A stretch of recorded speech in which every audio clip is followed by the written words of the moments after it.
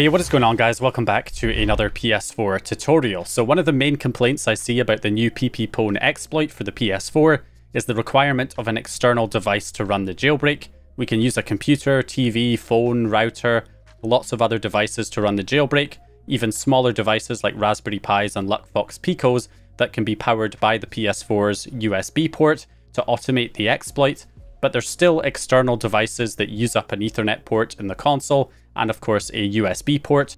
So in this video, I wanted to address these issues by turning the LuckFox Pico into an internal mod chip for the PS4. This has a number of different benefits, one of the main ones being that you don't have to use up a USB port in the console or the Ethernet port, and also it's completely concealed within the console itself, so from the outside you would never know that it wasn't just a normal PS4, and it's about as close as we can get to an untethered exploit right now, and it does not require any external devices since it's an internal mod chip. It's basically part of the PS4 itself. So yeah, it makes it easier for transporting the console and being able to run the jailbreak. You don't have to take any extra devices with you. So yeah, lots of benefits here. So let's go ahead and get straight into it. So the device we're going to use as our mod chip is going to be the LuckFox Pico. So either a regular LuckFox Pico or a LuckFox Mini B. I would recommend the Mini B because it is even smaller than the regular Luck Fox. you should have no trouble finding a space on the inside of the console where you can fit this device in. And most consoles you'll also be able to fit a regular Luck Fox Pico in as well, especially the PS4 Pro. But with the Mini B, there's definitely no PS4 model that shouldn't be able to accommodate that device.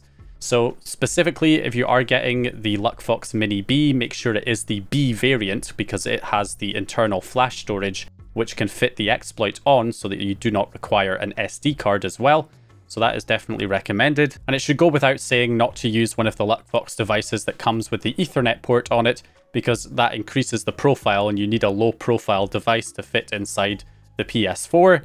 So once you have your LuckFox device, whether it's a mini or a regular version, what we're going to do is hold down the boot button and plug it into your computer with the USB cable. Once you have it plugged in, we need to go ahead and download a few things. We need to download the actual project for the exploit. Then we need to download the firmware. So we go into the build root folder and we download the firmware, but the big change here is that you want to download the firmware for the LuckFox Pico Plus underscore flash. So not the version for the mini or the regular LuckFox Pico, as you might expect. We actually want the one for the Pico Plus, even though it's not a Pico Plus that we have. So download the firmware for the LuckFox Pico Plus flash version. We also want to download the driver assistant and the SoC toolkit. We'll skim through this here real quick because I've already done a detailed guide which goes over how to set up the LuckFox device with the exploit. If you want a more in-depth guide, check out the previous video which will be linked down in the description. So what we're going to do here is first of all run the driver assistant, get the driver installed, then run the SoC toolkit. You're going to select the firmware that you downloaded for the Pico Plus and then check all of the boxes so that everything's selected and click the download button to flash the firmware onto the LuckFox device. Then we want to open up our network connections in our control panel and unplug the Pico and plug it back into the computer. And then a new Ethernet device should appear. Right click on that device and go into properties, select Internet Protocol version 4, double click on that. And then you want to enter a static IP address of 172.32.0.100. Then just click in the subnet mask and it will autofill for you. Click OK and apply those settings. Then we're going to open up MOBA Xterm and we're going to go to the session, create a new session. The IP address is 172.32.0.93. Enter a username of root, click OK, accept the certificate, and then if it asks you for a password, just enter LuckFox, one word, and that will get you logged in, all lowercase. Once you're logged in, you can then rename the project folder with the exploit. Just get rid of the dash main at the end of the folder name and drag it into MOBA Xterm to copy all of the files over. Once you have the project copied onto the LuckFox device, you can then run the install script by copying the command from the GitHub repo and pasting it into MOBA Xterm, and then press enter to run the final command, which will run the setup script. So with the setup script, we want to enter our firmware version, which is going to be E for 11.0 in my case, because I'm on 11.0 firmware. And then we'll type in Y for yes to apply. This is another important step here where it asks you if you want to shut down the LuckFox Pico after successfully loading the jailbreak. So we'll say Y for yes and press enter. And then we want to select what type of exploit we want to use. I just use option B, which is compatible with all PS4 models. So we'll press enter on that and then confirm the settings and type in Y and press enter to apply. And that will get the whole exploit up and running on your LucFox Pico. So the next thing to do is to unplug it and get everything set up for the hardware. So there is actually already a project as I was kind of researching this to see about doing this project, I saw that somebody had already gone ahead and done their own version of it and documented it. So I'll leave this down in the video description if you want to reference it. There's some good information in here. I am going to change things a little bit from the way that it was done on here, just to make it a little bit easier. So I'm using a PS4 Pro. So we want to get the plastic cover off first of all, and then get all of the screws taken out from the metal cover that is over the motherboard. So get rid of all of those screws. I think they're all T8 or T9 screws. And then there's a bunch of them that are also Phillips screws as well. So get rid of all of those screws and then get rid of the Wi-Fi antenna cables as well. and plug all of those and you'll be able to lift the metal plate off. You may also need to take out the hard drive. And then if we zoom in here on the Ethernet port itself, you can see it right there. This is the back side of the motherboard. So in the original GitHub project, you can see they solder the wires directly to the legs of the Ethernet port. These legs are very close to each other. It's easy to bridge them together. It's kind of hard to get these wires soldered to the legs. On top of that, the Ethernet port is on the front side of the motherboard. In order to access this, we'd have to take apart the console further to the point where we actually remove the power supply and separate the motherboard from the heatsink which obviously is not ideal. So a much easier way to do this is to just solder the wires to these little pads that are on the underside of the Ethernet port that we have access to right now. So that is going to be a lot easier than soldering the wires to the individual legs, and we don't have to open up the console any further. So that's what I'm going to do here. So you actually only need four wires from the Ethernet port for PPPoE. You need TXD minus, TXD plus, and RXD minus and RXD plus. So those correspond to TXN and TXP and RXN and RXP on your Luck Fox Pico. So if you look on the LucFox Pico, you will see those corresponding pads on the bottom of the chip. And that's all that's required for communication between the LucFox device and the Ethernet port for PPPoE. From what I can tell, the slim PS4 models, the Ethernet port looks pretty much identical, the same points. Uh, it is a little bit different for fat model PS4s. I don't have exact details on those, but I'll try and put up uh, some images if I can on the solder points. But just take those with a grain of salt because I haven't been able to actually test that on a fat model PS4, but those should be roughly the points that need to be soldered for those models too. And also we need to power the LucFox Pico. We don't want to power it from the USB. We want to power it directly from the console so that we're not using up a USB port on the console. So we can do this by essentially taking power from the existing USB ports. So either the one at the back, which is the handy one on a PS4 Pro because it's right next to the Ethernet port, but if you're not using a PS4 Pro, you can just use one of the front USB ports instead. But as you can see, this back USB port that's next to our Ethernet port, we've got a ground connection and our V-bus connection for our power. All we need to do is basically solder wires from those to our LucFox Pico to power it. So all in all, six wires that you're going to need to connect from the motherboard to the LucFox Pico. So this is the wire that I'm using here for this. So what we're going to do is first of all add some flux onto each of the points for the Ethernet port, all four, and then just add a little bit of extra solder onto each one of those pads. Once we've done that, we can then attach each wire one by one for TXN, TXP, and then RXN and RXP. And then once we have those wires attached, we can then, of course, clean up the flux with some rubbing alcohol. And then we just need to add the two wires for powering the device from our USB connection so we just add a little bit of extra solder onto those two pads and then add our wire for our V-bus and ground connection. And then just add some Kapton tape to keep those wires secure.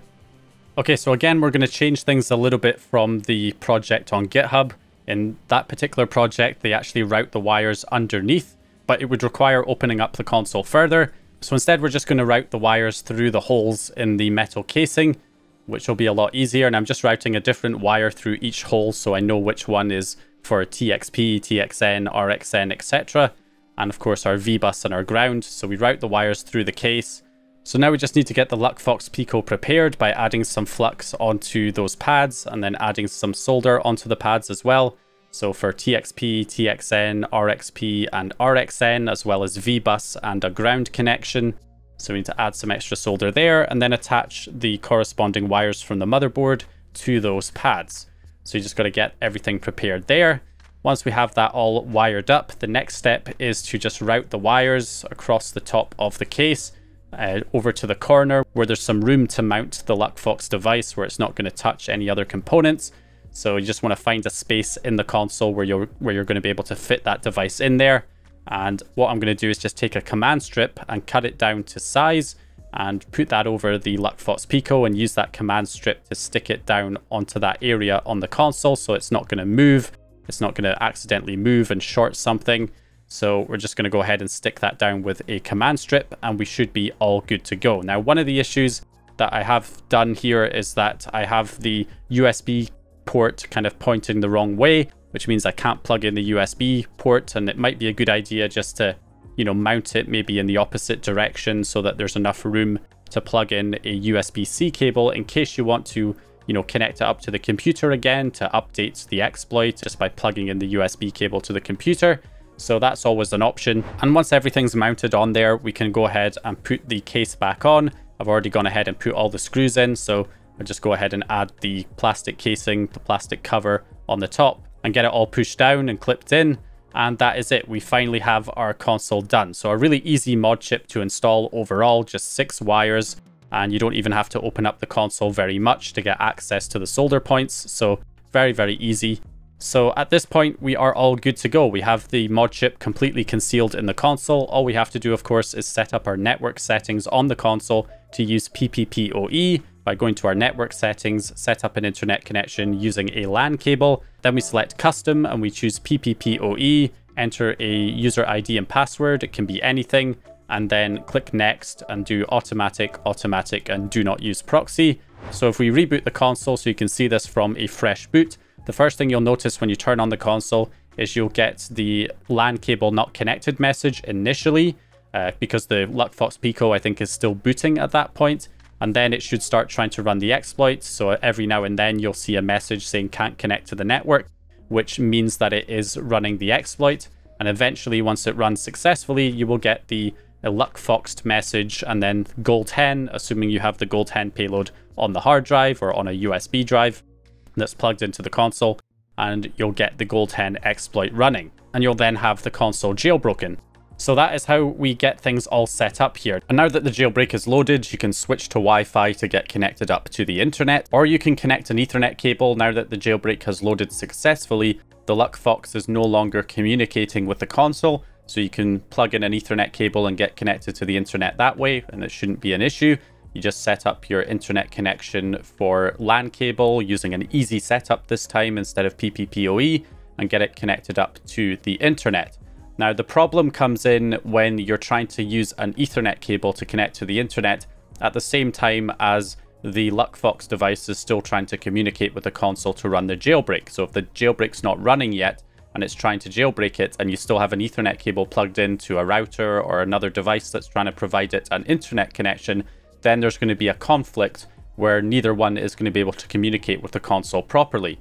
So the fix for this is to obviously just not have the ethernet cable plugged in when it's trying to jailbreak. Once the jailbreak is done, you can then plug in the ethernet cable and get connected to the internet. And in my case, I have the PS4 connected to the computer with the ethernet cable, so the computer is sharing the internet connection with the PS4, so for me, I can just disable the network adapter for the Ethernet when it's trying to jailbreak so that the computer is not trying to communicate with it when it's trying to do the jailbreak. And then once the jailbreak is successful and the Luckfox Pico shuts down, I can then re-enable that network adapter and get the console connected back to the internet. So that is one potential downside with this method right now, is that you have to wait for the jailbreak to complete before enabling the Ethernet. So again, this is a very easy mod chip to install, very easy to set this up. You know, as long as you can do some basic soldering, it really is that easy. Six wires between the motherboard and the chip. That's all you got to do. Find it somewhere, find somewhere in the console that you can put the chip where it's not going to, you know, make contact with anything else, any other components, and you are good to go.